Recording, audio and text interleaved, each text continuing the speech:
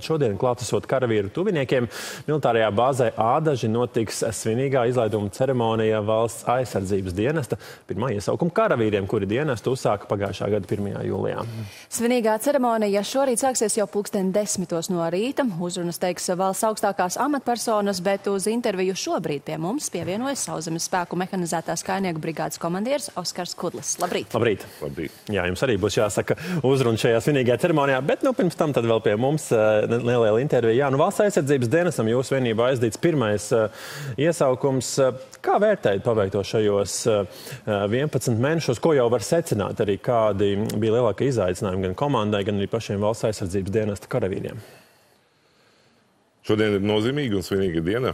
Mūsu vienībā, Ādažu bāzē, ir aizritējuši 11 intensīvi un spraigi mēneši valsts aizsardzības dienestam un 247 karavīri noslēdz valsts aizsardzības dienestu. Mēs esam profesionāla vienība. Mūsu sastāvā ir profesionālas kaujas vienības, tā skaitā NATO kaujas grupa un zemesardzes bataljons. Ikdiena mūsu bāzē un vienībā ir ļoti intensīva un spraiga. Līdzīgi arī valsts aizsardzības dienestam aizritējušie 11 mēneši. No pirmās dienas mēs viņus iekļāvām savā vienībā, līdzās mūsu profesionāļiem un NATO karavīriem. Viņi apguva savas zināšanas un prasmes. Ieskatoties šajos mēnešos, noteikti ir jāatzīmē laikam pirmie mēneši, kas bija noteikti liels izaicinājums valsts mhm. aizsardzības dienestam, kas pamatā ir saistīts ar pielāgošanos jaunai videi, pielāgošanās jauniem standartiem, uh, morāli un arī fiziski izaicinājumi pakārtoties tām prasībām, kas ir uh, militārajā dienestā. Bet uh, jāsaka, pēc tiem trim, četriem mēnešiem viss ir uh, noritējis uh, vēl vieglākā un raitākā solī, kā bija cerēts. Jāsaka, ka valsts aizsardzības dienas ir uh, godam paveicis viņiem uzticētos pienākumus, augstu novērtēju viņa sniegumu, un arī, protams, mūsu komandas, mūsu instruktoru un virsnieku paveikto, lai tā apmācība noritētu tik mm -hmm. sekmīgi, kāda viņa izdevusies šim aizsardzības dienestam. Jā, jūs sakāt intensīvi un spraigi, vai tādi ir bijuši visi 11 mēneši bez atpūtas, vai kā? Varbūt jūs varat mums ieskicēt, nezinu, vai tā būtu viena, vienas dienas ietvaros, vai varbūt vienas nedēļas ietvaros. Nu, kas tad jauniešiem bija jādara, kā, cik spraigas ir bijušas šīs dienas, nedēļas un mēneši?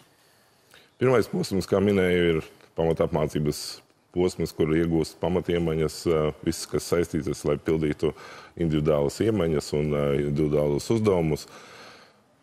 Valsts aizsardzības dienestu šie 247 karavīri veica četrās brigādes apakšvienībās, kur pildīja sagatavotās specialitātēs vairāk nekā 18 dažādāka veida specialitāšu saistītos arodus un uzdevumus.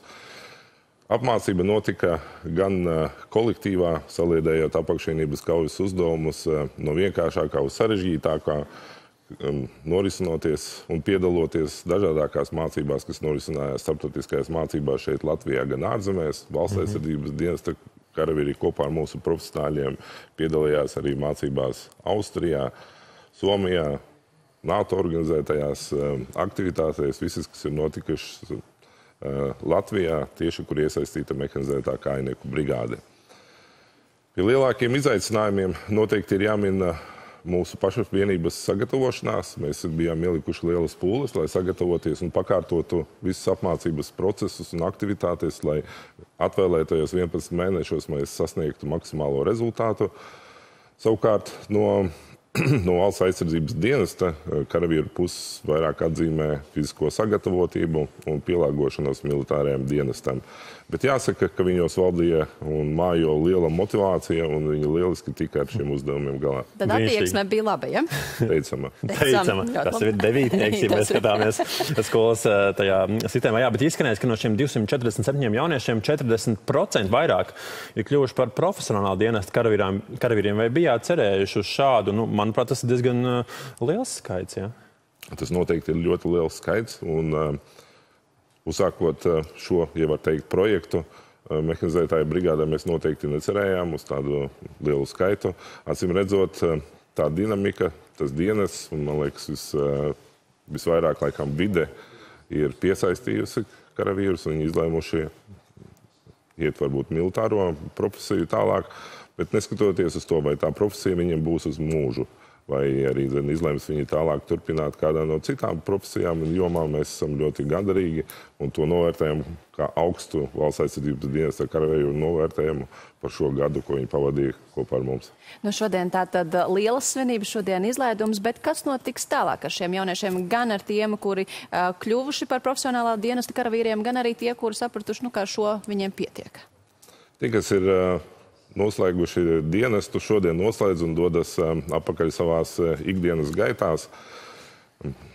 Tie, tie nonāk mūsu, mūsu vienības un bruņoto spēku rezervē.